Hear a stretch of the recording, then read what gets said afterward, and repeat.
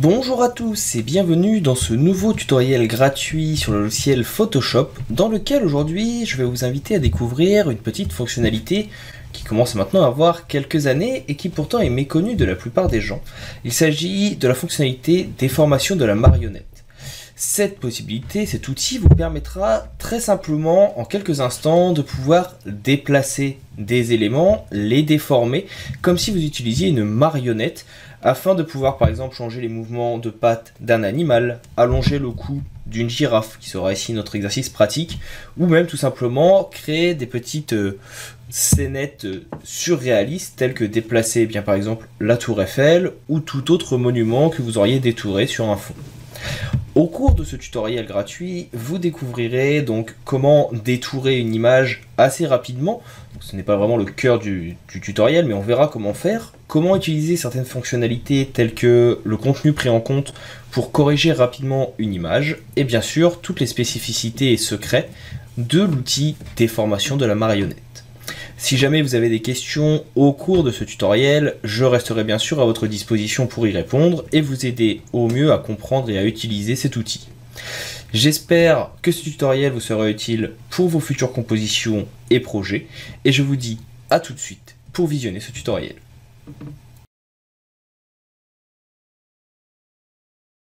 Attaquons-nous donc à la découverte de notre outil déformation de la marionnette. Alors avant de rentrer dans le vif du sujet de la déformation, justement, on va commencer déjà par mettre sur un plan différent, sur un nouveau calque, notre photo ici de girafe. Ne vous inquiétez pas, je vous expliquerai par la suite pourquoi. C'est juste que dans un premier temps, on va déjà voir comment la détourer et après on verra quelle est l'utilité justement de l'avoir sur un calque à part. Alors la première chose que nous allons faire ici, c'est faire un contrôle J qui va nous permettre de dupliquer l'arrière-plan. Je vais ensuite venir prendre ici mon outil sélection rapide et je vais tout simplement, comme le nom l'indique, venir sélectionner assez rapidement ma girafe. N'hésitez pas à venir tout simplement jouer sur la taille de votre brush ici en haut. Vous voyez, vous venez rapidement faire des petites sélections. Si vous dépassez un petit peu, c'est pas grave. On reviendra par la suite avec sélectionner et masquer pour corriger cela. Il n'y a pas d'inquiétude à avoir.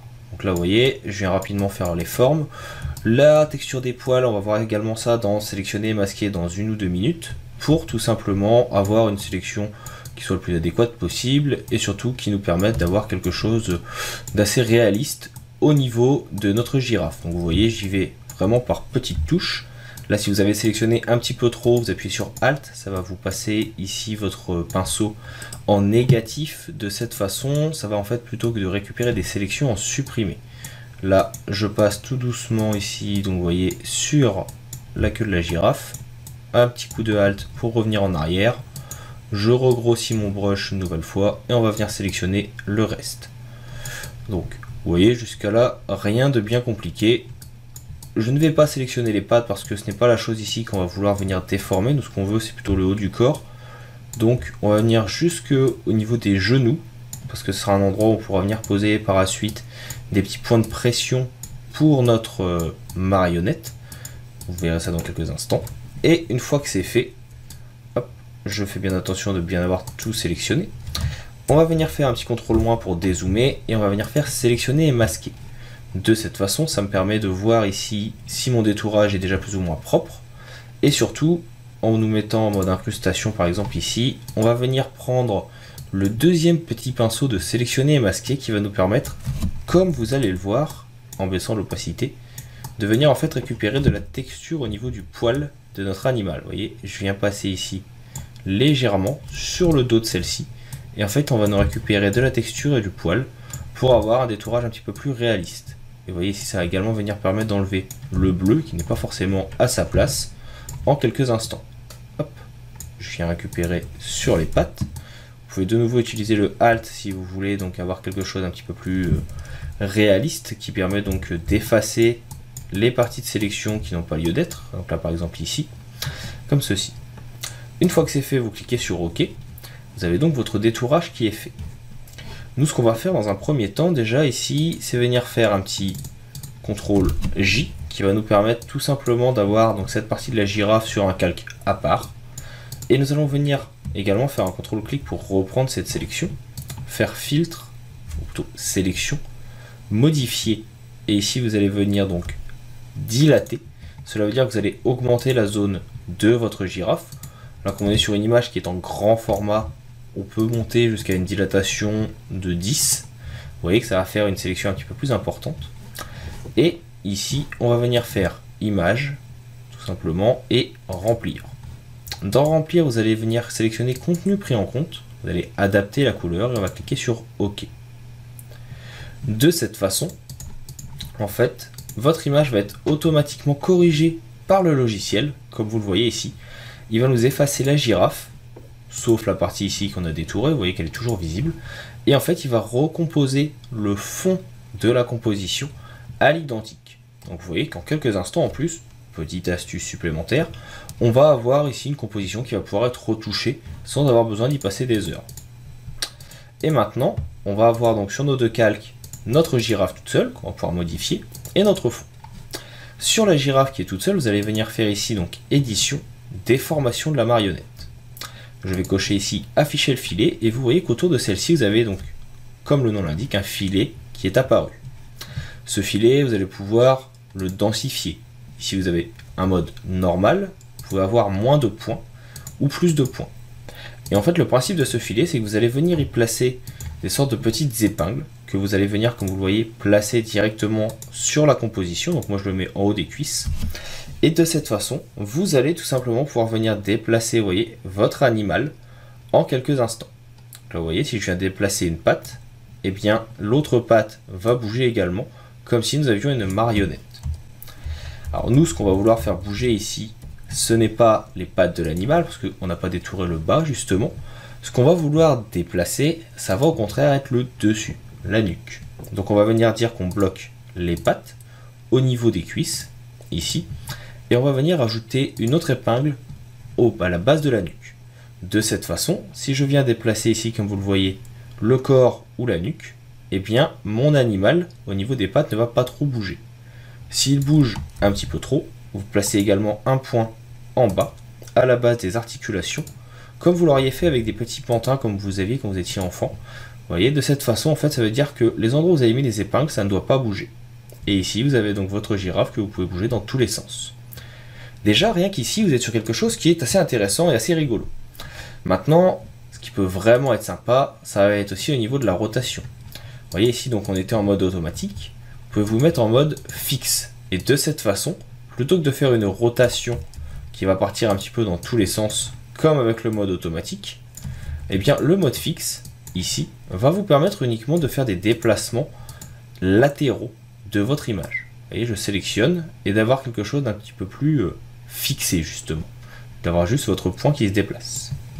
Si vous voulez voir le rendu sans le filet, vous pouvez bien sûr l'enlever en décochant afficher le filet cette façon, vous voyez donc le rendu de votre girafe. vous voyez que le contenu est relativement pris en compte aussi, on reste sur quelque chose d'assez réaliste. On va se remettre ici en automatique. Donc on a l'angle d'inclinaison, vous voyez qu'elle est 18%, mais on reste sur quelque chose d'assez euh, pratique, qui n'est pas forcément euh, très facile à bouger. Ce qui peut être intéressant maintenant, c'est de venir jouer sur les modes ici, rigidité et déformation. Alors, quand vous êtes en mode rigidité, comme c'est le cas ici, on va être sur quelque chose, encore une fois, comme avec le fixe, de très rigide. Vous voyez, votre image ne bouge pas beaucoup. Si je viens ici demander à bouger uniquement la tête, vous voyez, le corps est très rigide, il n'est pas souple. Alors qu'à l'inverse, si vous vous mettez en mode déformation, ici, vous allez pouvoir également venir agrandir votre image. Vous voyez En rigidité, vous allez juste faire des déplacements basiques sans changer la perspective. Alors que si vous passez en déformation, en partant sur deux points différents, si vous vous éloignez des points précédents, vous allez venir faire une perspective qui va agrandir votre image. Et à l'inverse, vous allez également, si vous, rapprochez vos points les uns des autres, faire une perspective qui va venir ici, et eh bien tout simplement l'abaisser. Donc c'est assez sympathique également si vous voulez faire des petits effets un petit peu rigolos, genre comme si quelqu'un ou une girafe, pour le cas présent, ou par exemple un animal, venait tout simplement approcher sa tête pour venir eh bien, euh, la déformer. Donc ça peut vous permettre de réaliser des caricatures très facilement. Maintenant, ce qui peut être également assez intéressant, on va revenir donc sur notre girafe de base avant modification. je reviens au début. Alors, pour annuler, moi pour ma part, là je l'ai fait en faisant échappe. Sachez que vous pouvez également venir annuler ici, à cet endroit. Donc là, je vais remettre la déformation. Je remets mon petit filet. On va remettre les points comme nous avons fait il y a quelques instants. Ici et aux différentes articulations pour pas qu'elles ne bougent. Et à cet endroit. Plus une sur la tête qui va nous permettre donc de déplacer le tout. Vous avez la possibilité d'expandre votre image. De cette façon, la zone de déplacement sera un petit peu plus importante quand vous allez venir déplacer votre visage, votre girafe. Vais, je vais enlever le filet. Et donc maintenant, imaginez que vous voulez faire une rotation. On va se remettre ici sur du 2. Ceci. Imaginons que vous voulez faire passer en fait le cou de la girafe, non pas devant, comme je suis en train de le faire ici, mais que le visage apparaisse derrière celle-ci. Eh bien, vous avez les boutons profondeur ici. Je clique sur moi et vous voyez que je peux venir faire passer le visage de ma girafe à l'extérieur. Vous voyez également qu'on a un petit débord. Petit débord ici donc dû à l'expansion. Si vous venez baisser la taille de l'expansion, vous voyez que vous n'avez pas forcément le contour bleu et vous pouvez donc très simplement venir passer notre visage à l'extérieur. Par exemple ici vous pouvez venir le passer entre les jambes très facilement. Vous pouvez venir également, là vous voyez je suis derrière tous les points parce que je me suis mis en arrière-plan, demander très simplement que le point qui est ici, eh bien ce soit lui qui soit en position moins 1. Vous voyez, je viens le sélectionner et je le mets en arrière. Et de cette façon, je peux venir placer ma tête entre les deux éléments, sachant que le corps qui est à cet endroit, lui, sera en arrière, tandis que le point qui est ici, lui, sera en avant. Ici, on va retrouver un petit peu le système de calque avec des positions dans une pile, avec le point qui sera le plus haut et le point qui sera le plus bas. Et suivant le point sur lequel vous allez cliquer, vous saurez quel est le point le plus haut et le plus bas. Donc voilà pour le petit outil donc ici de déformation de la marionnette. Vous voyez que c'est assez rigolo.